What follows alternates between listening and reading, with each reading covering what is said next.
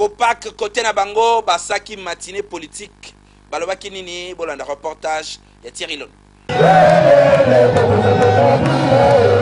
Ezalaki facile ya kotanga na bakaliko nyonso ya corps de patriote kabiliste babengi bongo na mokuse copac oyo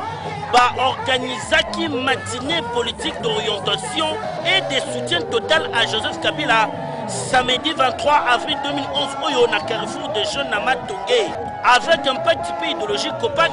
elongo na union de libéraux démocrates chrétiens uldc na mokuse parti cher ya raymond chibanda bamobilizaki bamembre na bango na ndenge ya kosakana te oyo misusu bautaki baprovince ya ndenge na ndenge mpe na bamboka misusu na moloba ya président général ya bakabiliste engagé pasteur Louis Richard Mulumba atalisi na bamembre ya COPAC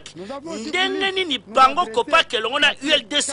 ya Raymond Chibanda esengeli bakangaka deja makofi mpo na baelektio oyo bakotikela motu to te kandida na bango joseph kabila esengeli aleka hey! Eh, esengo ya bamembre nyonso ya copac samedi 23 avril euti oleka ezalaki ya komona presence ya Raymond Chibanda oyo azali kokontinue kosoutenir bango na baaktio nyonso bazali kosala mpo na kozala nsima ya Joseph Kabila Kabange. Copac na ULDC